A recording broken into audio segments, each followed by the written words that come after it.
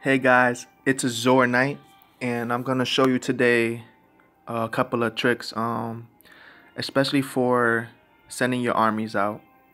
You want to know how to preset. So to preset, you um, in the Rise of the Kings, you go to this flag right here. It shows you your total troops, total dispatches, grain consumption, and wounded.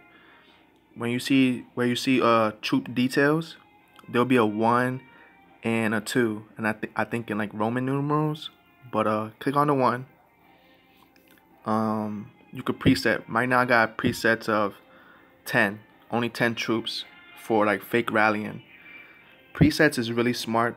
So if you wasn't like in a rush, you could send presets out of fake rallies or anything that you got saved instead of just um, wasting time setting up your um your your um troops as far as a whole bunch of infantries or a whole bunch of ar archers, little bit of catapults, little bit of uh cavalry.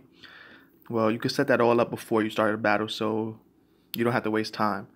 So right now I have it set up for one, only ten troops. So I put like one uh dragoon, one crossman, one heavy um catapult, one axeman, just like a real army is marching.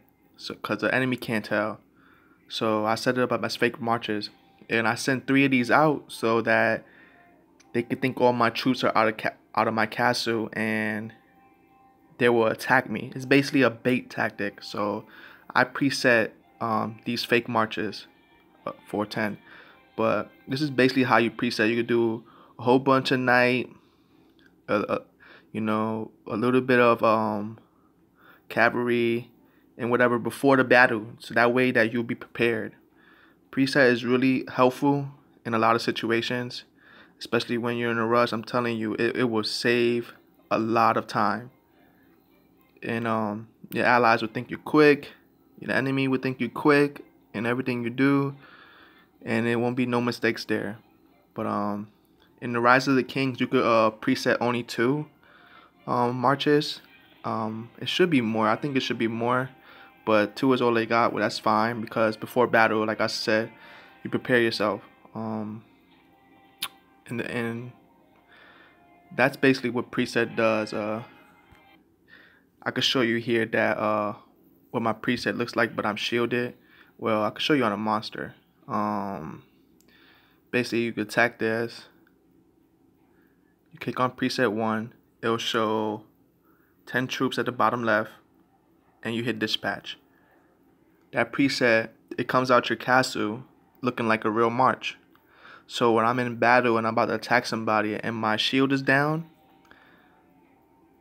it will show somebody's reinforcing me. Um, I guess he's giving me some. What he's giving me? He's giving me some uh, resources. Well, thank you. Um, so it looks like a real march. You got your um the whole march just marching, and it looks like you really sending a lot of troops to go fight something. And enemies will see that, but it's only ten troops, so that that would be a fake march.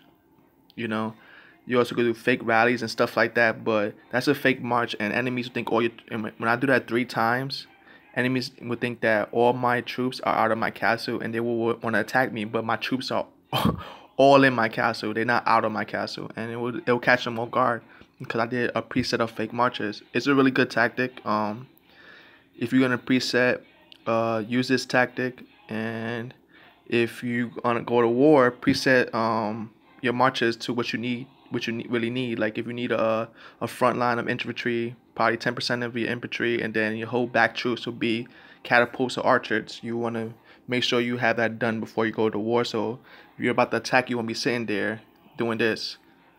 Um I'm about to attack this guy. He has a whole bunch of infantry. Um, maybe I should send a whole bunch of infantry too to fight the infantry on the front line. Maybe a little bit of this.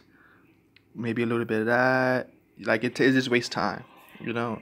So preset your uh, preset your marches and um, let's get it.